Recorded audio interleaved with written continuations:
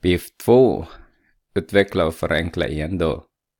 Kom ihåg att när man uh, utvecklar och förenklar eh, prioriteringsregel eh, gäller också.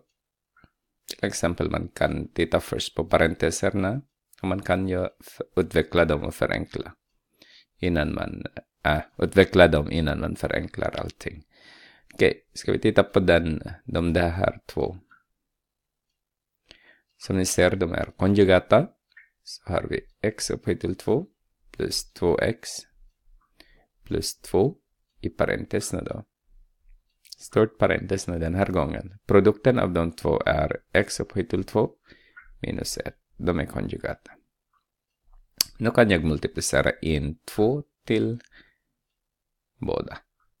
Så har jag x upphöjt till 2 plus 2x plus 2x upphöjt till 2 subtraherar med 2. 2 multiplicerar med negativ 1 är negativ 2.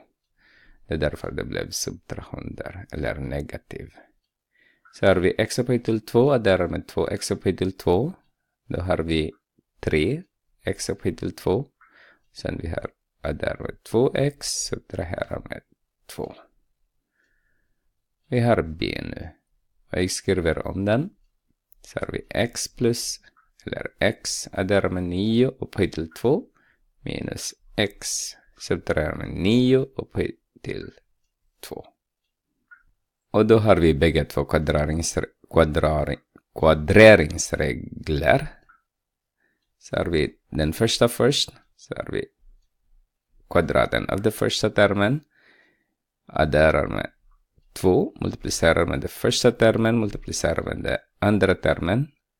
Och sen adderar med 9 upphöjt till 2 subtraherar allt detta med den som vi får. Vi har subtraktion före, så vi måste sätta in dem i parentes först. Vi gör exakt likadana, men det är subtraktion just nu. Så x upphöjt till 2. Subtraherar med 2 den här gången, det var därför det var negativ 9 där. Eller det var subtraktion mellan x och 9. Eh, multiplicerar med x multiplicerar med 9, alltså första och andra eh, termer. Eh, och sen adderar med 9 upphöjt till 2. Nu är vi redo att förenkla. x upphöjt till 2 adderar med 18x adderar med 81 och sen vi har negativ före parentesen så ändrar allting där. Negativ x upphöjt till 2 positiv 2 är 18. 18 där. X negativ. 81 också. Så de tar varandra, blir en 0. Den här också blir en 0. Så vi, vi har bara 36 x som är Kwar.